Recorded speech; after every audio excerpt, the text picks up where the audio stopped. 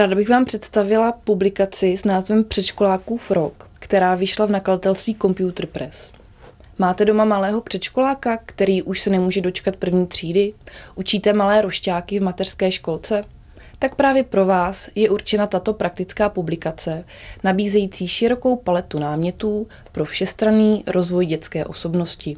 Kniha je rozdělena na 12 kapitol, které popisují jednotlivé měsíce v roce.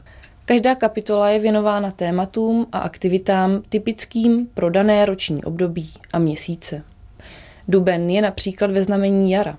S dětmi tu třídíme odpad, sázíme sazeničky anebo vytváříme domácí skleník. V prosinci se zase s dětmi připravujeme na Ježíška a měsíc červen je jak jinak než ve znamení výletů.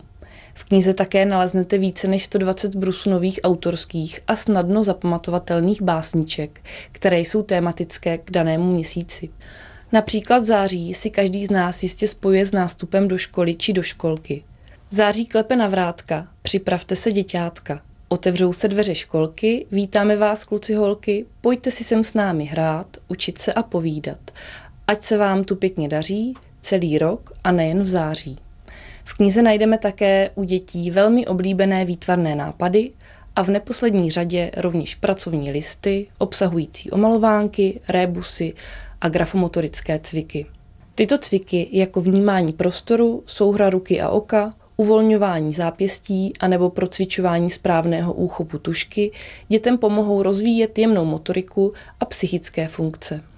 S naší knihou Předškolákův rok je příprava na školní docházku opravdu hrou. Tuto nepostradatelnou publikaci, která bude velkým pomocníkem nejen pro děti, ale i rodiče a učitele mateřských škol, můžete pořídit na firemním e-shopu a také ve všech dobrých knihkupectvích. thank you